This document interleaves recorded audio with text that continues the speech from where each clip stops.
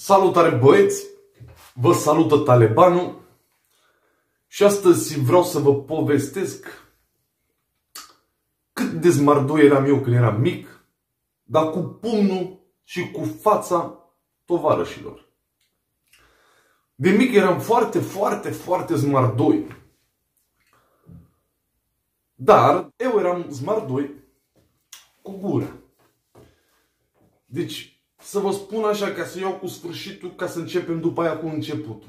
Când am plecat din România, frate meu și tovarășii mei m-au dus ei la autobuz ca să fie siguri că intru în autobuzul ăla și plec. Că nu mai puteau. Și de ce?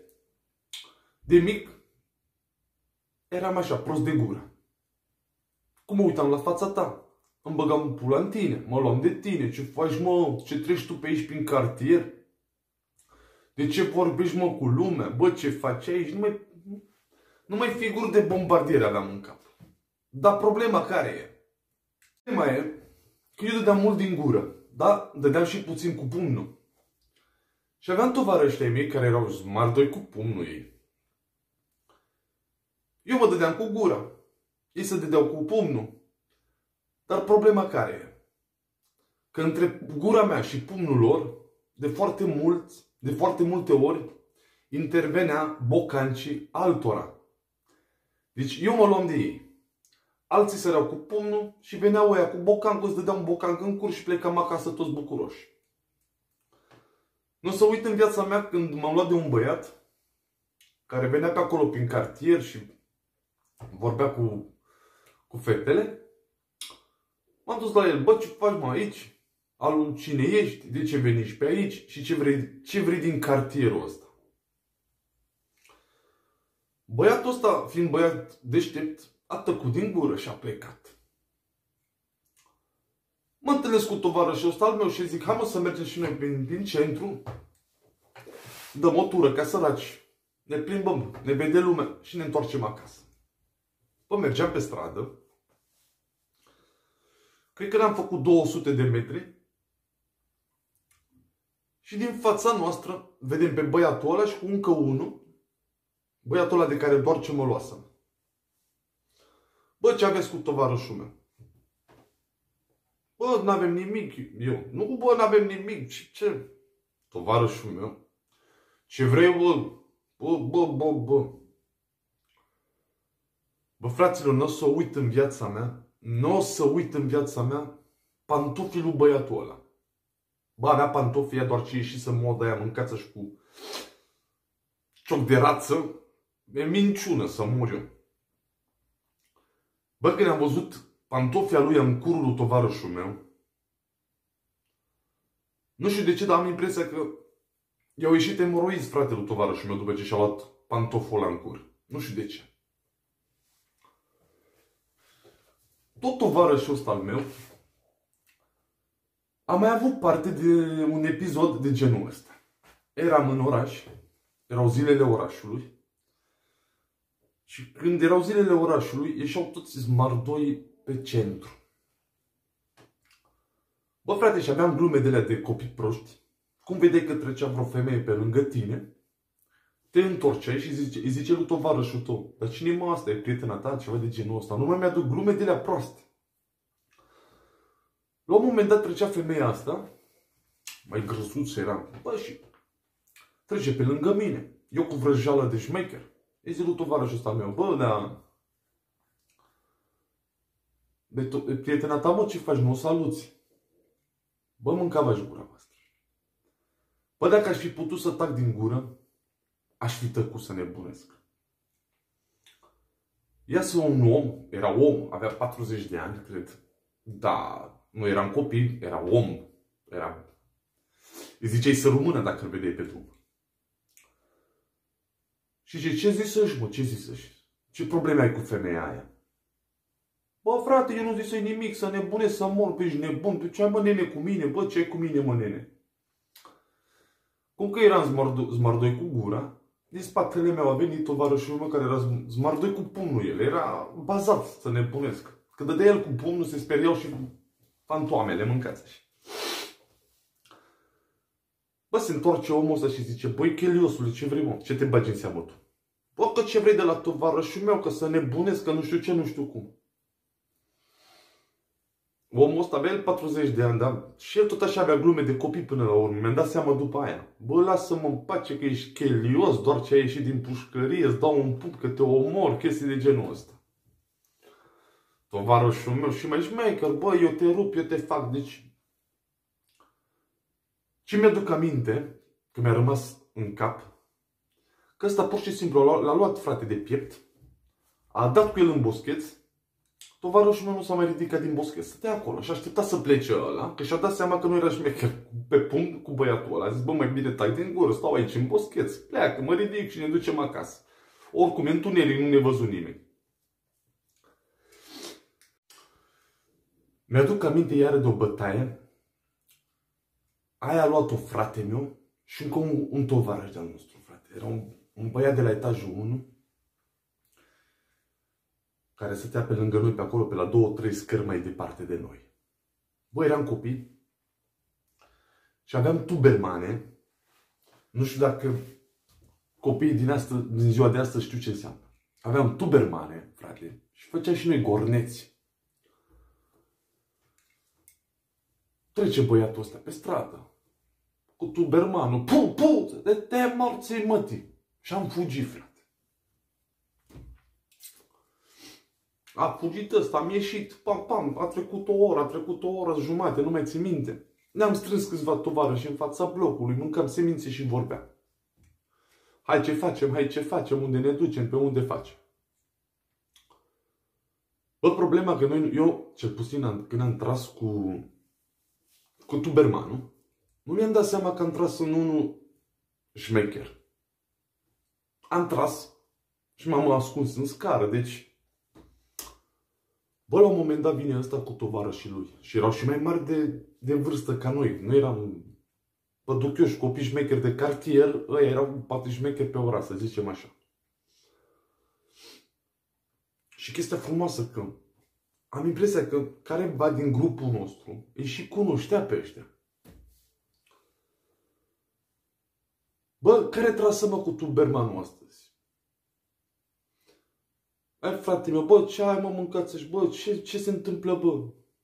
Aici lui frate meu, bă, taci din gură că ăștia se luară de tovarășul meu, nu știu ce, nu știu cum, bla bla bla bla bla.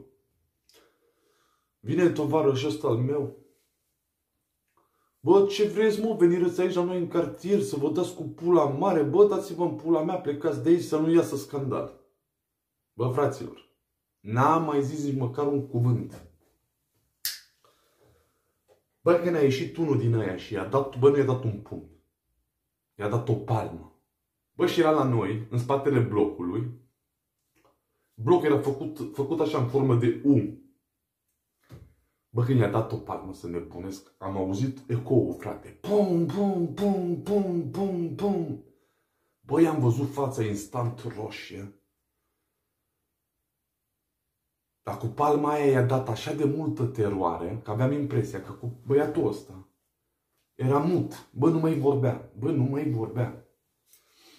Deci când mă vedea pe stradă, bă, din, din prieteni la cataramă, devenisem că nu, nu mă mai, bă, nu, nu, că nu mă cunoștea.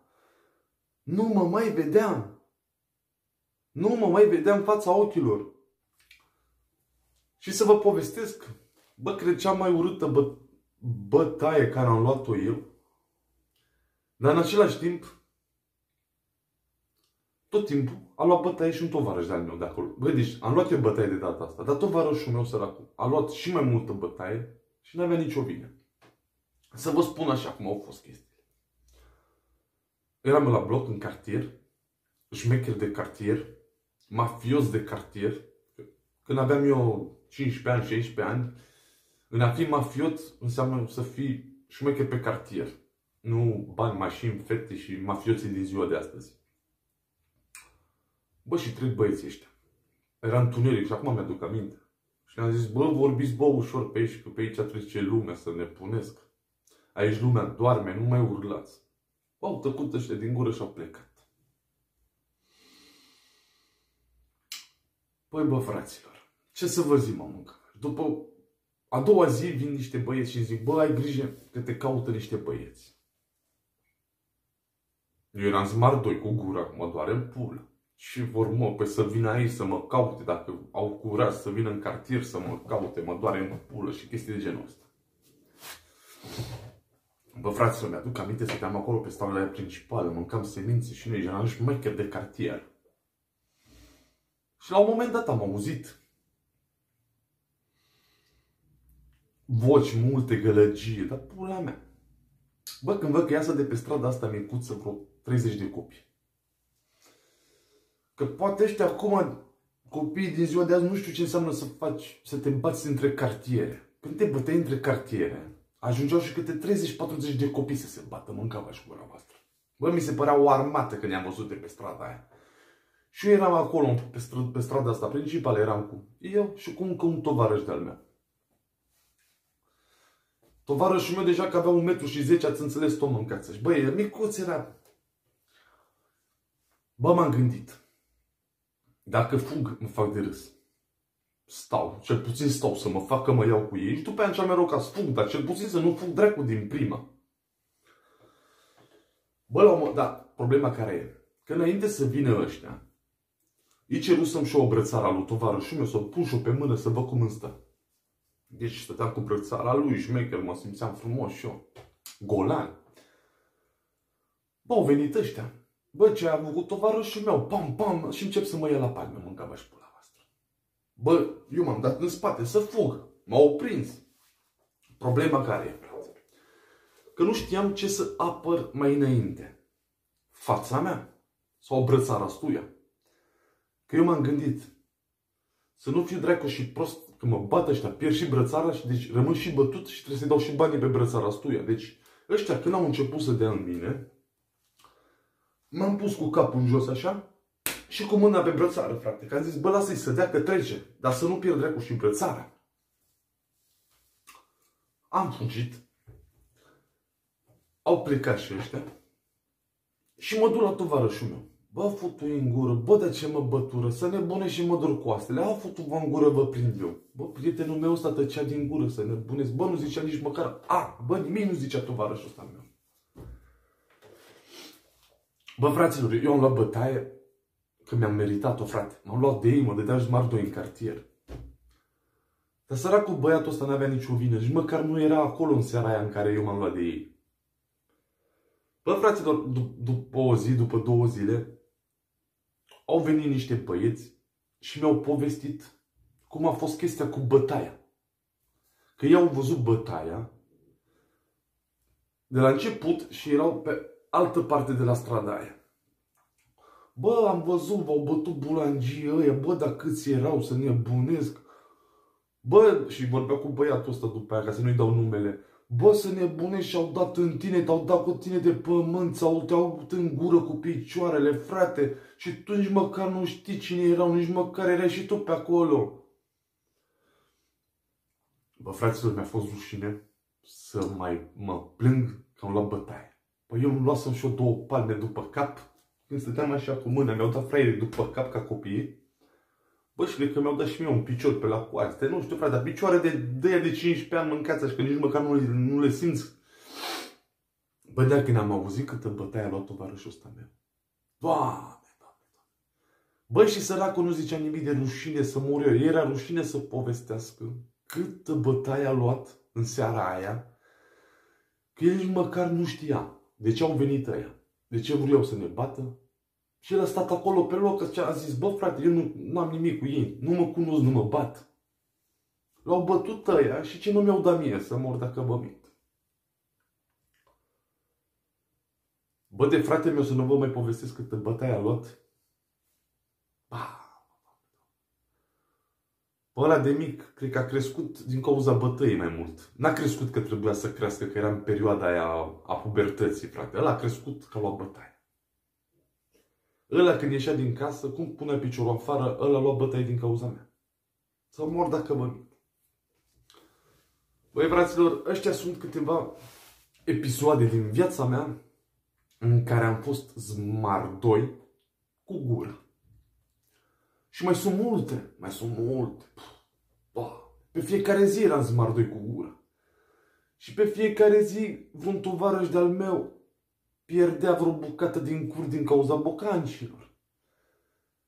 Mai se pierdea prin boscheți când îl aruncau tovară și mie cu care, cu care mă certam. Și așa mai departe, frate. O să vă mai povestesc. Nu vreau să dau nume, ca să nu se supere băieții. Sau o să-i întreb dacă pot să povestesc și cu nume. Să fie așa mai frumos, cu nume, cu tot. Dar între timp vă povestesc așa, scurt și cum trebuie. Vă pup și să aveți o seară plăcută în continuare.